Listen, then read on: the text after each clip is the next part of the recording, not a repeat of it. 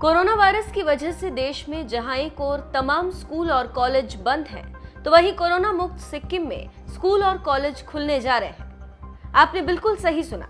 सिक्किम के शिक्षा मंत्री के एन लेप्चा ने शुक्रवार को घोषणा करते हुए कहा कि 15 जून से सभी स्कूलों और कॉलेजों को खोला जाएगा लेकिन नर्सरी से लेकर आठवीं के छात्र अभी भी स्कूल नहीं जा सकते।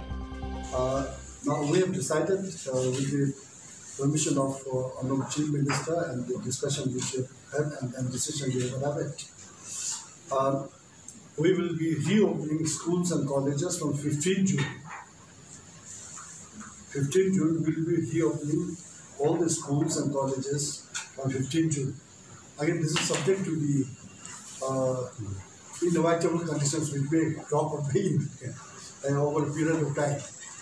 But as of today, 15 June, uh, is the day from which we are going to reopen all the schools and colleges. Now, the process which we will be adopting for reopening the schools is that uh, they, to start with, we may not uh, uh, start the junior classes from class from KG class to class 8. Yes. But important thing is class 9 to 12. These are the uh, higher classes, senior classes. So we will start with class 9 to 12. And that is one thing. Then another thing is uh, we even when we do open the schools, we don't want to, you know, have those uh, normal uh, morning assemblies because then you, you know so just to avoid this uh, social distancing this is involved we have to follow that therefore not, we are not going to have that assembly uh, we also like to see that classrooms are arranged in such a way that uh, to, to, to maximum extent we try to see that social distancing, distancing maintained.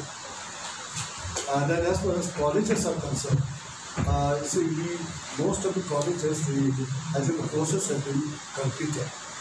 So, for instance, like uh, uh, NBDC, Tadong, it has almost 3,000 students. It's a big, big, big thing.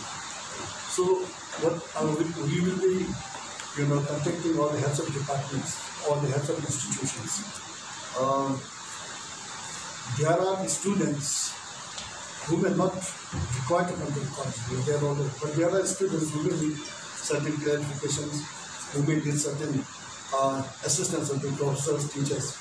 Uh, our head of the institutes, professor, they will be with such students who will be invited to the colleges and in a uh, not in a big phase manner. Sort of we will be uh, calling them and they will be to organize classes for them also.